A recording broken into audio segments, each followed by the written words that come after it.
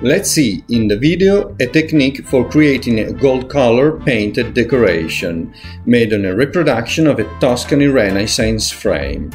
To speed up the production time, we use a particular gold colored marker that gives us the desired result if used correctly and with the right lightness.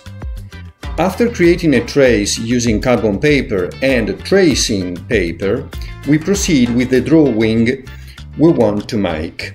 In other words, we follow the trace, obtaining on the four corners of the frame a typical Tuscan decoration of the 16th century.